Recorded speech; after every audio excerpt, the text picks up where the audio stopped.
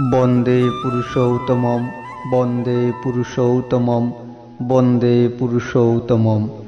ইষ্টপ্রাণ দাদা ও মায়েদের জানায় আন্তরিক জয়গুরু।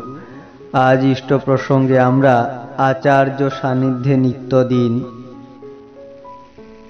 গুরুত্বপূর্ণ তথ্যগুলি জেনে নেব আচার্যদেব শ্রী শ্রী দাদার শ্রীমুখের বলা। লেখক শ্রী তরুণ কুমার পাল সহ প্রতিঋত্বিক সৎসং দেওঘর। তারিখ পঁচিশ দশ দুই হাজার এক।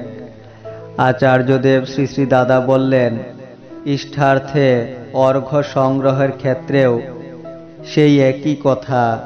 যখন এক টাকা এবং এক কোটি টাকা সমান আগ্রহে মানুষ গ্রহণ করতে পারে, তখনই মানুষ কৃতার্থতার দিকে এগিয়ে যেতে পারে। সবাই দেই ঠাকুরকেই। মানুষ কতখানি আনন্দ নিয়ে ঠাকুরকে দিচ্ছে, সেটাই সব থেকে বড় কথা। অভ্যর্থনা ও তাড়না যখন সমভাবে গ্রহণ করতে পারবেন, তখন বুঝবেন আপনি সাধনার পথে অগ্রসর হচ্ছেন। অশুভ ভাব আছে, শুভ ভাব আছে। যে যে ভাবের চর্চা করবে, সে সেইভাবেই হয়ে উঠবে।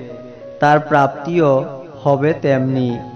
মঙ্গল, অমঙ্গল একসাথেই থাকে।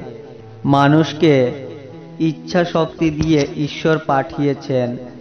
যার যেমন ইচ্ছা, সে তা গ্রহণ করতে পারে।